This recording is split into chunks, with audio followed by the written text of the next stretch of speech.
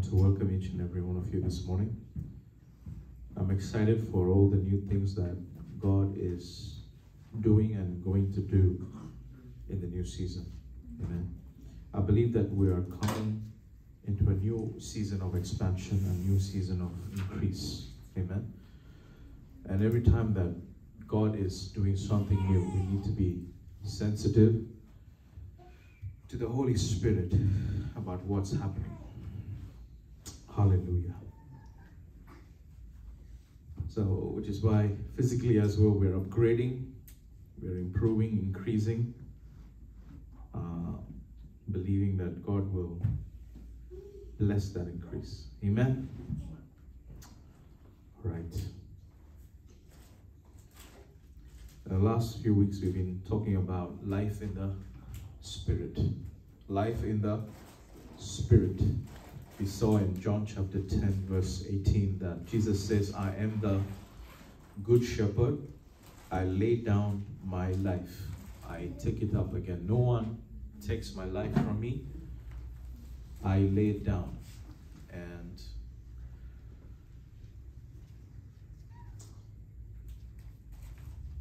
we saw that the reason why Jesus had to give his soul as a sacrifice was for the redemption of our soul.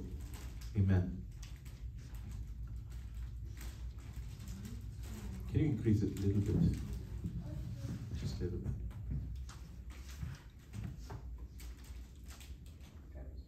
Check. Hallelujah. Yeah.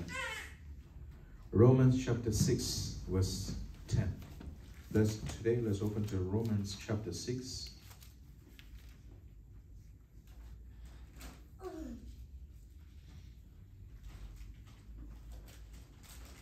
Let's go to Romans chapter 6. Verse 1 onwards. Life in the Spirit. Romans chapter 6, verse 1 onwards. If you're there, say amen. Amen.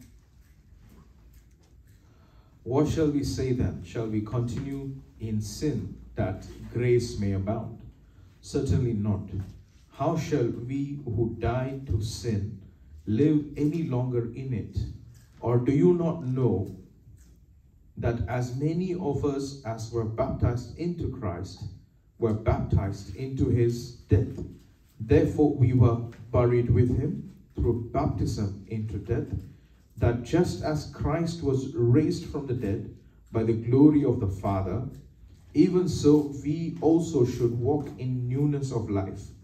For if we have been united together in the likeness of his death, certainly we also shall be in the likeness of his resurrection. Knowing this, that our old man was crucified with him that the body of sin might be done away with, that we should no longer be slaves of sin. For he who has died has been freed from sin. Now, if we died with Christ, we believe that we should also live with him, knowing that Christ, having been raised from the dead, dies no more. Death no longer has dominion over him. For the death that he died, he died to sin once for all but the life that he lives, he, li- he lives to God. Likewise, you also reckon yourselves to be dead indeed to sin, but alive to God in Christ Jesus our Lord. Let's pray. Father, we thank you for your word. The entrance of your word brings light. Today, as I speak, let it not be me who speaks, but the Spirit of my Father speaking through me. And take your people to the next level of glory, Lord. Holy Spirit, anoint this word, anoint each and every one of us. Give us the spirit of revelation and of wisdom. Open the eyes of our understanding, O Lord. We give you all the glory. In Jesus' name, amen. The Bible says that we are dead to sin and alive to God through Christ Jesus. Before Jesus, there was another law, the law of sin and death that was operating in our life the law of sin and death still exists. We've got to understand everything in this world operates through laws. Laws govern the natural and the spiritual. If we want to understand life, we have to understand these laws. If you understand the spiritual laws, you can you can operate in them and you can be successful in whatever you do. You that's why sometimes some people can be very bad people and good things will happen to them because they understand certain laws. They understand the laws of finance. They understand the laws of physics. They understand the laws of how the financial system of the world works and they can use it to their advantage to become rich. While a Christian is praying for God to bless him with money, that man is understanding the financial laws and becoming rich. So we have to understand that as much as there are spiritual laws that exist, there are financial laws that exist in the world. So, which means if you want to be an overcomer and you want to have finances and you want to become prosperous, you can't just say, God bless me, bless me. Mm. You have to know and have the wisdom to invest in the right place. Hallelujah. We have to have the discernment, not just the spiritual discernment, but also understanding of how the world works. If you don't understand how the financial system of the world works and how money works, no matter how much you pray, you'll still be poor. Amen. So there are very good Christians with very good intentions who are broke because they have not read enough books. They have not put their mind to use to understand how things work in the world. Amen. So, come on, everybody says there are natural laws, there are spiritual laws. And life is about becoming a master of these laws that exist. But of course, the first one is what? Your understanding the spiritual laws. Amen. The advantage that we have is that we are of a different place. Amen. We were born from above. So when we were in this world, we were living under the law of sin and death. What was the law of sin and death doing? Separating us from our source, separating us from our Father. So Jesus came and he laid down his life only to what? Pick it up again. The reason why he laid it down was he wanted to separate himself from the, the Father. Once he separated himself from the Father, the, the law of sin and death was what? Operating on him. But only for him to what? Take it up again. And he was raised by the glory of the, the Father. That was the plan, the master plan. But in between death and resurrection, something happened. What happened? Redemption happened. Amen? The redemptive work of Jesus happened between the death and resurrection. Amen? And with resurrection, redemption was completed. And with ascension and sitting on the right hand of the throne and sending of the Holy Spirit, it was the covering of authority and power that came upon us. The Bible says, when He, the Holy Spirit, comes, He will teach you all things. And they received power when the Holy Spirit what? Came upon him. Now you go back to the the parable of uh, when Jesus says about the uh, prodigal son, yeah? The son who went, there were two prodigal sons. One was outside, one was inside. Both didn't know the father. You me? Both sons didn't know the father. We look at this younger son and say he went away, but there was one inside the religious system who also did not know the father because he was there doing the work of the ministry without having a relationship with the Father. Yeah? So we have to understand. So there we see the Father giving the Son three things, right? What is the first thing? Hmm? What's the first thing he gives? Yeah, he gives him a kiss first. Yeah? Hugs him, he kisses him. Yeah? What does he do? He puts a robe of around him, and then he places a, a ring on his hand and he throws him a party. Right? First is the embrace of the Father. Right? He loves us. The embrace of the Father. He's kissing, he's hugging his son and expressing how much he loves him. Right? And then he gives him the authority. Yeah? The robe of righteousness he takes away his dirty clothes. We see in the Old Testament when, when, when Joshua was standing there in the realm of the spirit, he was wearing filthy robes, right? And the Lord told the angel to take off his filthy robes in the realm of the spirit and give him new robes. That's what's happening to this man. In the spirit, what it what it means is that God was taking off or covering his dirtiness, his filthiness. Amen. And putting on the robe of righteousness. So now when this man is coming, you can you can imagine how dirty and smelly he would have been, right? just coming back to the kingdom. And people there wouldn't have noticed and identified him. But the father knew who he was. And he goes back and puts the robe around him. And those people who are in the palace, they could see the man coming back. And when they see the robe, they know that he's a son. Are you with me? Righteousness, not our own, but whose? We became the righteousness of, of God. Say this with me I became the righteousness. Oh, come on. God did not give you righteousness, He caused you righteous. There's a difference. Amen. So, which means when the people saw him, they did not see his righteousness, but they saw the righteousness of God through Christ Jesus. Amen. So, the Father is coming. That represents the coming of Jesus into our world, into our filth, into our unrighteousness, into our brokenness and giving us his identity. Amen. So when the righteousness came upon him, everybody who saw, the servants who saw, they said, that one is a son because he's wearing the robes of righteousness. Amen. Now, when he kissed him and hugged him and said, Son, you are my son. Today my son has returned. He restored back his sonship. He restored back his righteousness and dignity. Amen. And then the Bible says he put what? A ring. What does a ring signify? Authority. When a king gives a ring to somebody, it represents what? Authority. The Bible says, Zerubbabel, today I have made you my signatory. The Bible says, what does it mean? It means that it, it's, a, it's a place and a role of authority. So when the son wore the ring of the father, he carried now the authority of the father. Hail, hallelujah. So when Jesus finished the work and he went back to the throne, he sent the Holy Spirit, and the Bible says he came upon. Everybody say upon. When the Holy Spirit came upon, who is the seal of righteousness for us?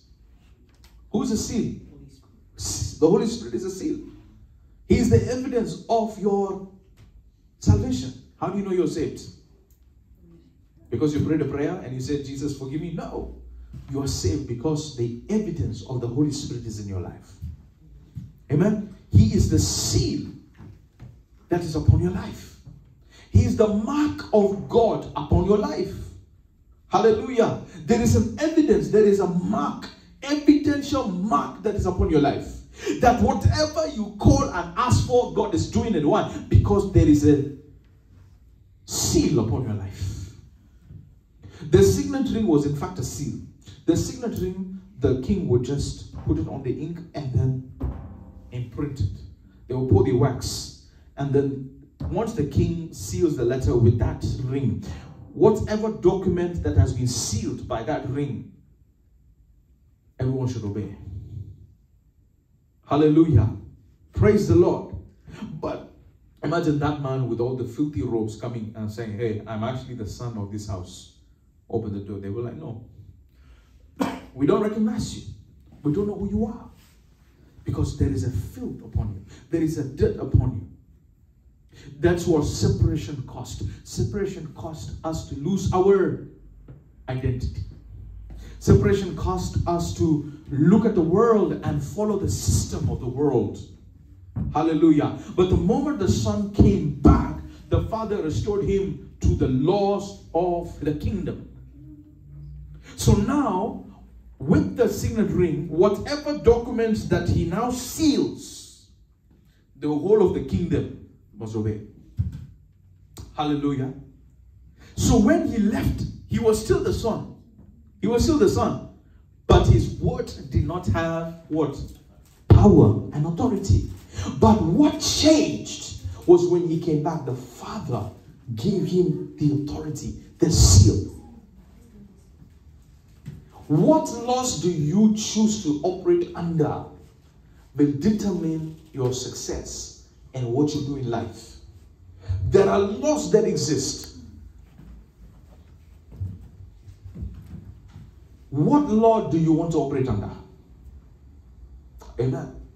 So the moment you come back, you have to understand the robe of righteousness is upon you. The seal of authority that is in your in your in your in your hand. Your identity. And the Bible says that the son was given what? A party. A banquet. Psalms 23 says, And I shall prepare a table for you in the presence of my enemies. Hallelujah. It means God has a way of honoring his children. Amen.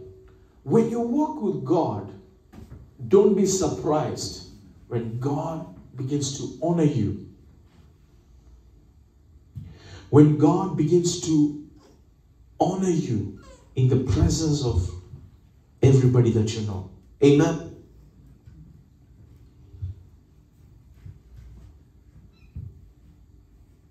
Praise the Lord. So, as I was saying, there are laws that exist in the world. So, when you walk in life, we have to understand these laws and we have to become masters of this law. And life becomes a pursuit of purpose, understanding the word and growing in the knowledge of these laws. Check. Yeah, reduce it a bit more. Yeah, that's okay. It's going up and down. Hallelujah. All right. Now, as I was saying last week, there are different moves that God was trying to bring through different reformations and moves that happen in the body of Christ. The reason why I teach on that is because that we as a church understand different moves, understand our own call and why we exist at such a time as this. And how to embrace those different teachings that the, was given to the body and what do we have to offer to the next generation? Amen? Man in general yeah he is slow in understanding certain things. Because we don't have the holy spirit. Man doesn't have the holy spirit okay? And most times even christians after a certain point get accustomed to traditions and institutions. We feel safe when institutions are built. Okay? We want to feel secure. We want to feel ins- insured. Okay? Is my future safe? Is there an insurance policy? Is everything insured around me? Is everything full uh, fail proof? We want to be sure about everything. So, therefore, when you want to go, when people want to join a church, they want to feel secure. They want to know that, you know, everything is secure. Leaders also want everything to be secure. So when God raises up a movement, it starts with a lot of fire. This is what we believe in. But after the first generation, what happens is usually people lose the vision. And then it becomes an institution. The very reason for which God raised that group of people or that organization, they begin to lose. They get sidetracked. Oh, we can do this, we can do this, we can do this. There are many things you can do. But what is the main reason and purpose God calls us? They begin to lose that. Okay? So what happens is, let's say, I told last week, one generation was raised to te- teach about faith. Another generation came. They spoke about evangelism. One generation came. They spoke about prosperity. Each generation was ridiculing the other without understanding that each generation came to speak about one truth. And it was all for the body of Christ to receive from, to learn from, and to grow. Because these laws in the realm of the Spirit are not easy for us to digest or learn and grow into right away. Okay? So God raised certain key people to teach us these laws. If those people did not teach us about finances, we wouldn't be talking about finances today. We would be lacking in the area of the realm of finances. If those people didn't teach us faith, we would be lacking in the law of faith. If certain people didn't teach us about righteousness, we would be lacking in the area of righteousness. You So every season, God was raising somebody up to teach us certain laws. And those wrote books. They preached sermons. They recorded their sermons. Thank God for that. How wonderful it would be if we have the recording of Jesus, right? Now, what is this? Are you with me?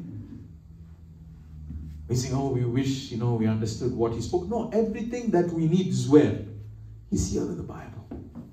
We just don't read it enough. We just don't understand the laws enough. Every law for life is where? He's here, recorded in the Word of God. If we look carefully, it will spark something in your spirit and it will come out of your spirit. God will use you to raise something up in your spirit. Everything that you need for life. If you just spend enough time praying in the Holy Ghost, spend enough time studying the Word by the help of the Holy Spirit, He will bring those laws to surface. He will give you wisdom to analyze situations and use those laws when you require them to. Amen. And then when you have mastered it in your spirit, in the natural also, He'll give you understanding. Amen. But in the natural also, you need to read books. You can't just say, Holy Spirit, supernaturally give me wisdom how to, you know, learn about finances or business. What you need? Now you need to go and read about business. You have to read about finances. Now you have to go read about how to fix a car if you want to be a mechanic, the best one. You can't just say, okay, I'm now I have the Spirit of God. Let me just go fix a car. You will break the car. The Holy Spirit can only enhance what you already know and have. Praise the Lord. What the Holy Spirit does is what you have, the word inside of you, He can enhance it. He will enhance it. Amen. The Bible says, and when He, the Holy Spirit, come, He shall remind you of the things that I have spoken. Remind you of the things I have spoken. So, how do we in this generation know what Jesus spoke? Everything is where? In the written word. Okay? The logos is the word, the general word of God. Everybody say logos. logos. What is logos? Word. Logos is word, the word of God. It is the overall everything word of God. The logos is when we read the Bible from cover to cover, you're just reading the logos. You're just having a conversation with.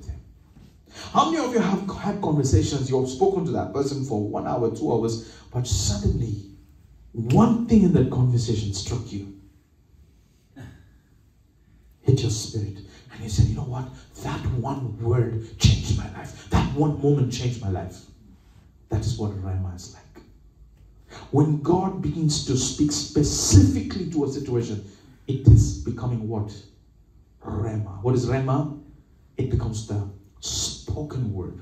It becomes the word that God spoke to you personally. It becomes the word that uplifted you. The same spirit that raised Jesus from the dead will also quicken. But the Bible says, what? Quicken your mortal body. That word, when it comes, it quickens you. That is the rhema that caused you to become born again. Everybody say born again. You were born again not of the corruptible, but of the incorruptible seed of God's word, which means at one moment, boom, there's something that entered you. You became born again. What was it? It was not a ritual. Nobody dumped you in the water and said, Be born again. It was a moment of knowing, it was a moment of understanding. Hallelujah. It was a spiritual law that was at work. Amen. It was a spiritual law that was at work. So now that spiritual law caused you to be born again. You have now entered into a spiritual realm as a spirit being. Everybody say, I'm a spirit. I'm a spirit. In a body, in a body. and I have a soul. I have a soul. I operate I operate in the realm of the spirit, in the realm of the spirit. but I live in the flesh. I live in the flesh. You see, so your, your, your flesh can touch, it can feel, it can sense. Your soul understands the natural laws. But you are also coexisting parallelly in the realm of the spirit, which means you see through the eyes of your spirit, you see through your eyes. Vision. You see and prophesy and you speak words of wisdom at work. You can't go and prophesy to your boss.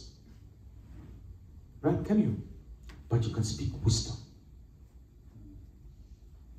You can't do prophetic. Why you what are you doing? I'm doing a prophetic move right now in the office. They will fire you. You do that in the church and outside. When you go there, you act with wisdom. Hallelujah. Are you understanding me? You're living in both worlds what? Parallelly. Jesus was walking, but he says, Whatever I see my father do, I'm doing. He was operating both in the natural and in the spiritual.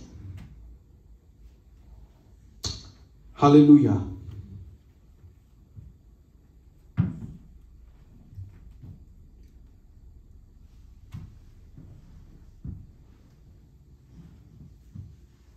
And that was made possible because of the death of Jesus. You died to the law of sin and death.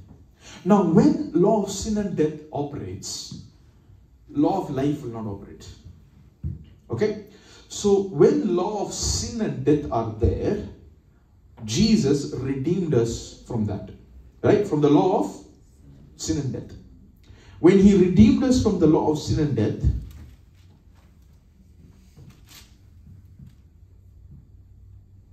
when he redeemed us from the law of sin and death, we now entered into a new arena. What is that? The law of what is the what is the law that we entered into? Law of yeah. Law of everybody say law of Law of spirit of spirit of life. life. What's the opposite law? Law sin and death. He redeemed us through his death. When he resurrected, we resurrected. Now a new law is at work. The law of spirit of life. Now there are many laws that operate. There is a law of fear, but there is a law of faith. The law of faith says we are saved by what? Faith and faith and faith alone, not by works. Religion, institution, that's why I'm, I'm coming there. Why do we feel safe in an institution? Pastor, tell us what to do, we'll do, we'll feel safe. Don't tell me to go and read the Bible, pray, and take a step of faith and live by faith. I'm afraid. Many people don't do that. Why? Because they want to feel safe. I went to church. I worshipped. I listened to sermon. I went home. I prayed. I'm a good Christian. Pastor prophesied to me and tell me what to do next. I don't want to take the risk of stepping out by faith.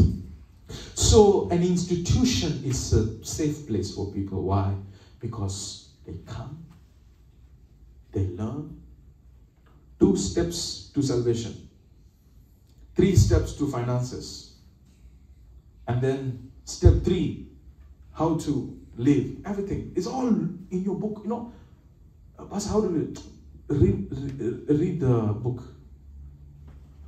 There is no relationship. There is no stepping out by faith that is being built when that happens. Are you with me? So when you become an institutionalized way of looking things, what happens is from relationship we step into tell me how to do it and I will do it. But life of faith is not oh I'll follow these steps and then you know God will bless me. If I do this then God will heal me. No. That's not the way it works. You have to be in the Spirit. It is a genuine life, it's an authentic life. It is a life where the life of God begins to flow in you, it begins to flourish you, it begins to help you thrive, and then you come to a place and you begin to operate by faith.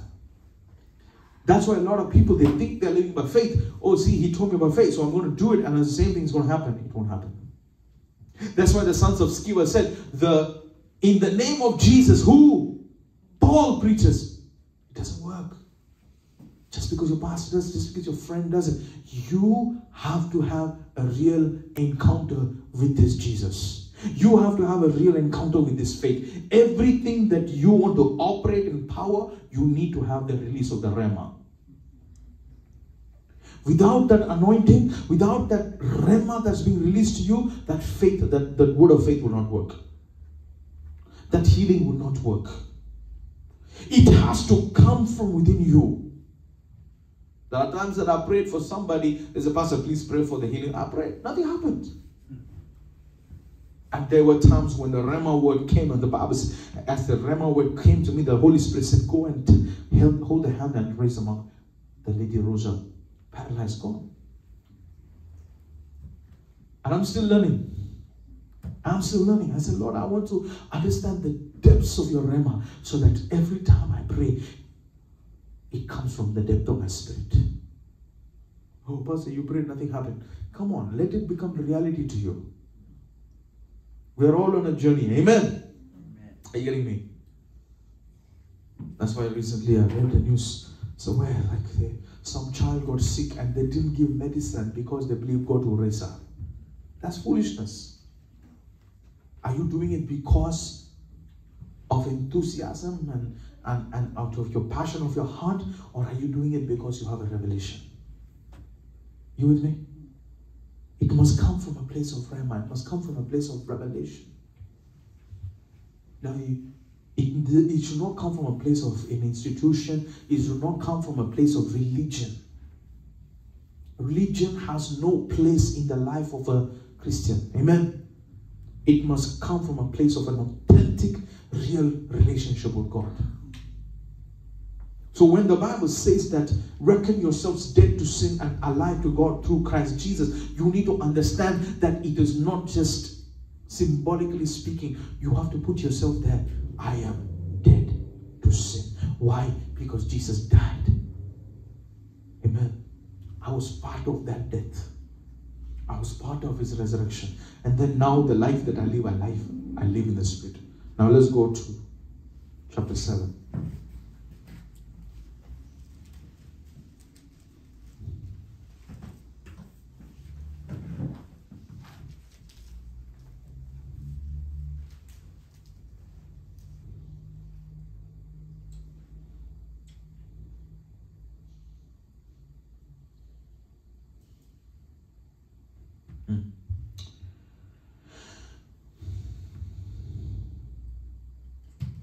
Verse 7, okay? Or do you not? Okay, let's go from chapter 6, verse.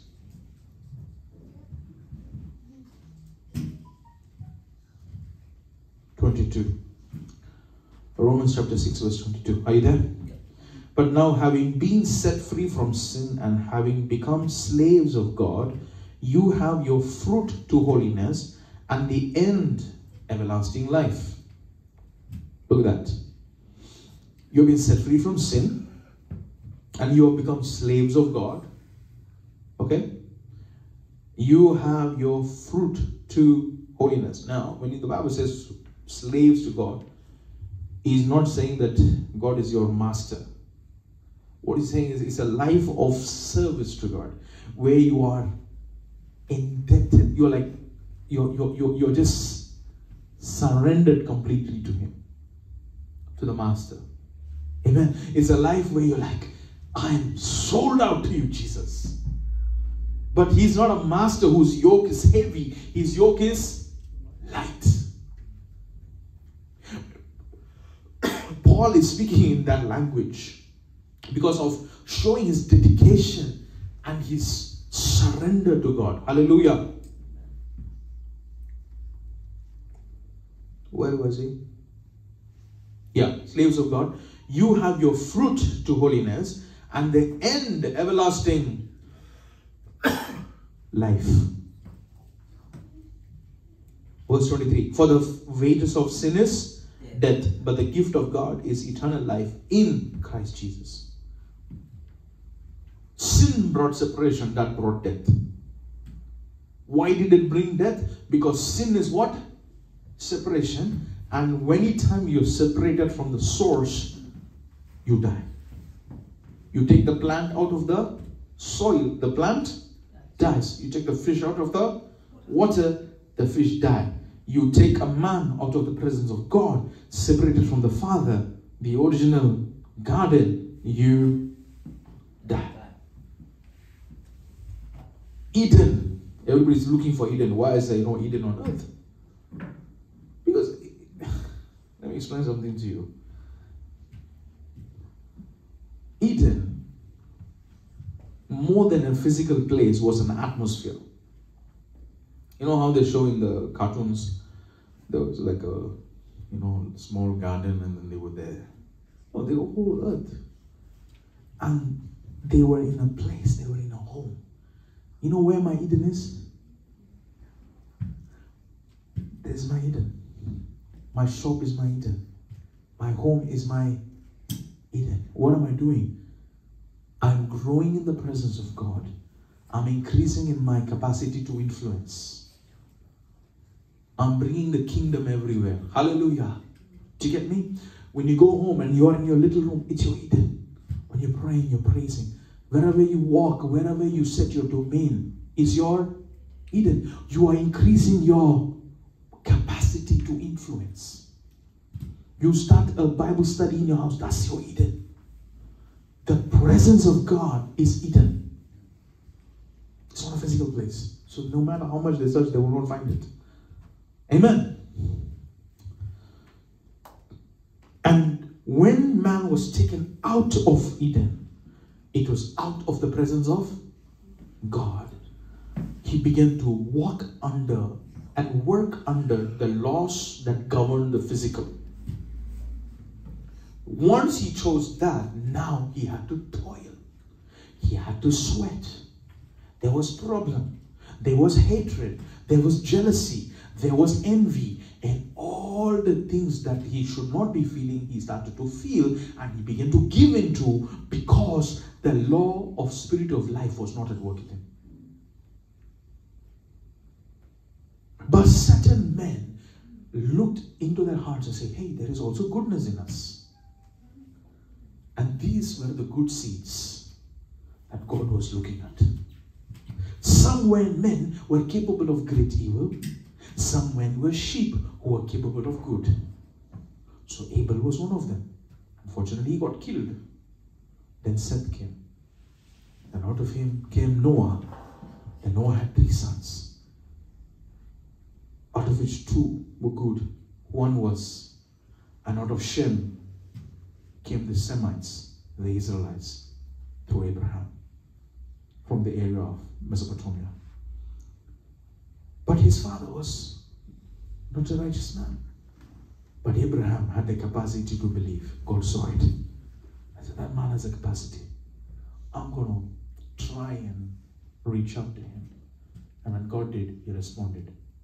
And he believed. And it was credited to him as righteousness. And God said, I'm going to prophesy to you. Through you, all the nations of the earth will be blessed. So Abraham now had the capacity to operate under a spiritual law and become a nation that will bring the Messiah who will die and bring us into a new spiritual law of life and life in the spirit. Spirit of life. Amen. So now the laws of nature, the laws of everything, the spirit, all the negative laws are trying to oppose this law of life to come. The bloodline was very important. That's why Satan was always trying to kill the bloodline. Abel, Joseph. See, whenever there was a call, there was an oppression that came upon that person. They had to fight all odds to come to the place of purpose that God had for them in the spirit. Amen. Jesus, when he was born, what happens? All the boys his age around that time, Herod killed. Moses was one such person. Before he was born, the Pharaoh said, All the boys thrown into the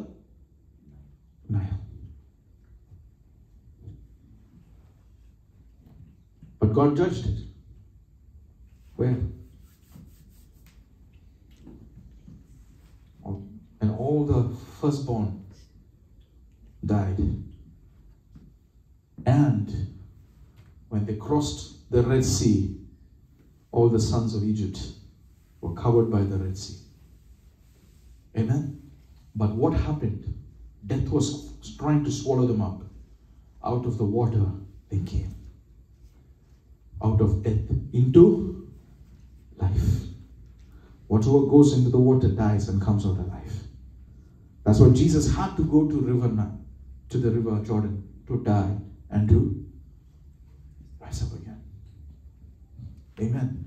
The life in the spirit will not happen until you die to yourself. The life in the spirit cannot happen until you come to the place of total surrender and say, I am a slave of God. Amen. All right. And then you now begin to have the fruit to holiness, and the end is everlasting life. For the wages of sin is death, but the gift of God is eternal life in Christ Jesus our Lord. Now let's move.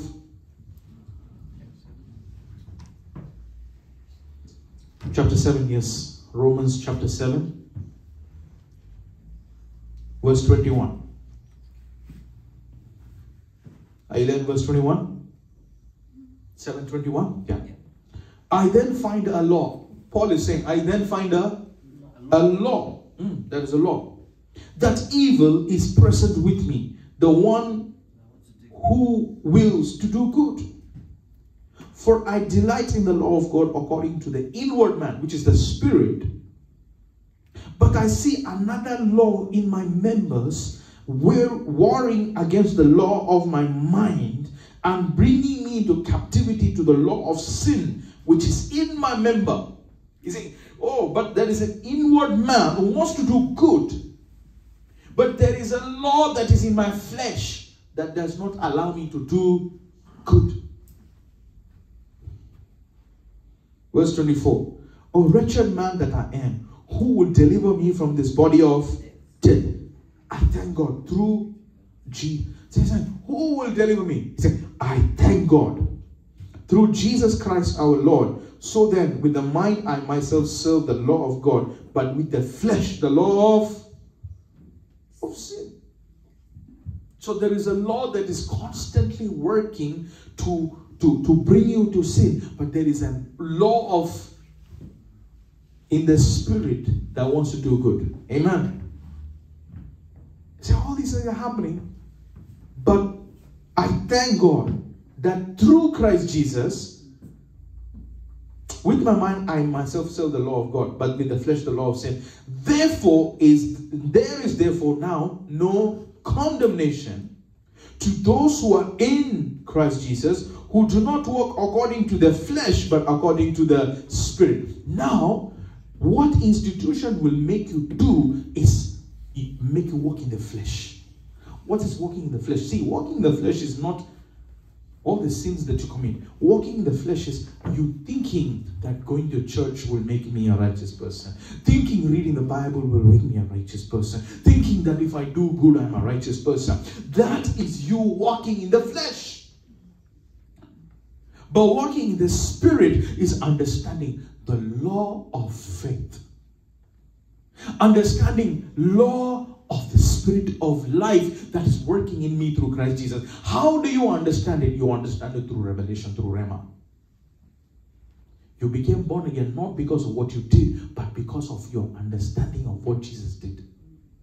You became born again not of the corruptible, but of the incorruptible seed of God's word. You are not coming to a physical place, but this is Holy City, Jerusalem, the New Jerusalem. We are building a, a city which was not built by the hands of any man, but by God Himself. Many members, but one body. Building to Himself one man in Christ Jesus. Nothing physical. You see, there is nothing physical about it. We do build things in the physical, but we are coming from a place of the spirit. And when we operate like that in the natural, also things begin to work. Amen. So there is no condemnation for those who are in Christ Jesus, who do not walk, who do not, who do not walk according to the flesh, but according to the Spirit. But if I now ask you, are you righteous? Are you the righteousness of God? Are you a sinner? What do you say? Why do you say you are the righteousness of God? Because in your spirits, that you know there is there is a law that is working in your flesh to do bad things, uh, but you know that you are saved because of your spirit. You do not now live according to the flesh, you now live according to the spirit. You do not now live according to what you feel, you now live according to what you know and believe. Amen. You do not live, oh, but, but, but, but, but I committed a mistake, so I'm a sinner. No. I'm the righteousness of God through Christ Jesus because of what I know. There is a law that is working against me in my flesh, but if you give attention to that law, that law will reign and rule over your life. But if you pay attention to what Jesus has done to your spirit, there is a law. Everybody said there is a law. There is a law that is working in your spirit, and that law is what? Law of life. Hallelujah. There is a law of life that is working in your spirit. Therefore, now there is no condemnation to those who are in Christ Jesus, who do not walk according to the flesh, but according to the spirit. Verse 2. For the law of the spirit of life. Ooh. For the law of the spirit of life in Christ Jesus has made me free. Everybody say has made me free. There is a law of the spirit of life in Christ Jesus has made me free from the law of sin and death. Paul is saying, yes, there is a law that is working in my flesh, but the law of spirit of life has set me free. So when you make a mistake, you're not sitting down there crying, weeping, and saying, God, please forgive me. You now switch over and see in your spirit, the law of spirit of life has set you free. So because it has set you free, you say, I am the righteousness of God in Christ Jesus. Everybody say there's a law. There's a law. There is a law working in my spirit. Amen. How do you tap into the law? Everybody said knowledge Knowledge. revelation rhema rhema is true a lot of people just they just read read read read the bible without having a relationship with the holy spirit so they do not know the deep understanding of who they are so they're separated still they're in the house, like I said the, the parable. They're in the house. Oh, look at him. He went out. He did all the bad things. I'm here in the church. I'm such a good boy. I'm such a good girl. I never committed any sin in my life. Oh, look at me. But you don't know the Father. When the Father came, how dare you throw a party for that sinner? The Father said, Do you not understand that all that I have is for you also? You never threw a party for me. The Father was like, What do you mean? Everything I have is yours, which means you can take what I have. You are expecting me to do something for you. Why was he doing it in the first place? Can I tell you why? Pastor, I did this, I did this, I did this, but nobody noticed me. You never said a word and said, Oh, well done, my good and faithful servant. Are you with me? Say this with me. Do not work. Do not serve for the accolades of man. You don't need anyone to tell you. Even if God doesn't tell you, you need to know it by faith. That is already yours. That's the kind of life we need to live. Amen. Of course, we need to be appreciative. We need to be appreciative and say, hey, good job. All that is important. But that is not the reason why I work. If I begin to live a life like that, I'm living in the flesh. See, I am doing these things so that He can. No, I don't need that. You are my reward. Hallelujah. I, I, even if He doesn't do anything for me, I'm just going to worship. Oh, I prayed so much, I've done so much, but you didn't give my healing. Oh, I did all this, but you didn't give my financial breakthrough. That's the reason you're not getting a financial breakthrough. Because you, from the first, you did that so that He will give something to you. But me, how should I live? How should you live? Is a life where I'm just going to do it. Not expecting anything in return from Him. Amen? But when I come to the place of sonship, everybody says sonship. When you come to the place of sonship, you're not waiting and saying, Papa, please give me something. When you come to the place of sonship, Dad, I'm taking my son, I'm taking a bundle. Okay, bye. Father's like, yeah, sure. There's a difference. You understand? Of course, without sonship, you can't go and say, "I'm not mature enough to handle. You understand? But you're not mature. You're doing everything. Busybody.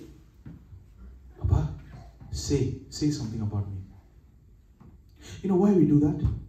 Because we have deep traumas inside. We want people to notice us and tell us we're good. And when we don't feel appreciated, we get hurt. For a long time, I had a hurt in my heart. Because for a long time, my father never noticed me and appreciated me. My own physical father. So growing up, I always longed for his approval. So I started looking for approval outside. So my friends, uh, will, will they accept me? Will they approve me? I didn't. You know when my father started giving me approval? Maybe I was 25 years old. Before that, I never heard my father give any approval. He would say, You can do better. So there was some disconnect there. Where, because that generation was like that. And sometimes parents can be like that. So I began to look at God and ask, started seeking for approval. But when I started knowing the Holy Spirit and started knowing who I am and whose I am, I stopped looking for approval and I started living life in the Spirit. And when I began to live life in the Spirit, I did not care. You gave me approval or not, I don't care. You like me or not, I don't care. What I live for is I live for His glory. Hallelujah.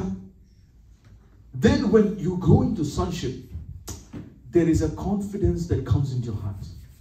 God will heal you of all those things that you feel. I'm not saying everybody will go through the same. I'm, I'm sharing my own personal experience. Maybe you had wonderful parents who, uh, who, who loved you and gave you roses every time you did something. Amazing. Praise God for that. Maybe you have parents who did not notice you or appreciate you. The first time that I ever felt that somebody loved me was when Jesus. My, my parents loved me, but they were not expressive. You see? Not expressive. So I did not get that expressive love. I'm a very so growing up also I began I began to grow like that, not very expressive. Up to now, I'm not very expressive in the way, but I'm, I'm improving. Mm-hmm. I'm improving. But at least I, I confess, I tell my wife, I'm not very, I'm, not very expressive. I need to work on it. Because 25 years of my life, I grew up like. So it's hard for me to express love in a certain way. You see. So my wife is different on the other hand. She's so amazing. Amazing. Her parents who express love. So she can just express her love for me. in a very amazing way. And I can just be like, yeah. but I'm working on it. I'm working on it. Hallelujah. So everything that we go through began to affect us the way we are. And then the reason I'm sharing this with you, it affects the way we look at God. We look at ministry, we look at the faith, we look at the church. It begins to affect us. But thanks be to God. Hallelujah. He begins to heal us. Deep down, He begins to heal us. Amen. Say this with me live life in the Spirit. Now, when we live life in the Spirit now, so what all these things will make us to live life in the flesh.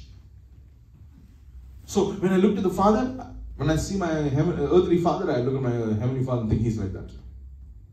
I look at my spiritual father and think he's like that. So when I saw my spiritual father, why God gave me a spiritual father, my spiritual father was different. He began to take me into the things that my earthly father could never take me into. My spiritual father began to show me certain things that my spiritual, my earthly my earthly father is wonderful. God healed him also of many things. Uh, we all learned, we grew, we grew, we grew as a family. But when I saw my spiritual father, my spiritual father took me into another realm of faith that my earthly parents couldn't. They brought me into this world, but I needed someone else to take me to the next level. That's what I saw my spiritual father. I said, and I said, oh, I humbled myself before him, and I began to learn from him and began to grow. Call him from time to time and say, Papa, this is what I'm going through, this is what is happening. Keep him updated. Say, praise for me, and I come under that anointing and grace. Amen. So life in the spirit is different. Life in the flesh, oh, I was hurt. I went through this, I went through that. How long are you going to be complaining? I complained for a long time. But when I begin to come into the life of spirit, I said, you know what? I don't want to complain anymore. I can choose to complain for the rest of my life and stay in the same place, or I can choose to make a difference and say, you know what? God, you have given me a choice to live in the spirit. You have given me a choice to live by faith. I choose this. Or I'm going to hold on to the hurt and the pain. It is a choice. If you work enough in the spirit, God will transform all that's within you. Take away the old, bring the new. Amen. If you live in the spirit, or your, your past will disappear, the freshness of life will come. Amen. If you live in the spirit, the law of sin and death, it has been it has been clawing at you, taking trying to take away your joy. But the more and more you live in the spirit, it will lose its grip over your life. Slowly, slowly. It won't happen right away, but slowly, slowly, you will feel the grip of depression, the grip of anxiety, the grip of fear, the grip of timidity just losing its grip on you, and God's life just swallowing you up, covering you up. Amen. Verse 3, chapter 8, verse 3. For what the law could not do, in that it was weak through the flesh, God did by sending his own Son in the likeness of sinful flesh on account of sin. He condemns sin in the flesh, that the righteous requirement of the law might be fulfilled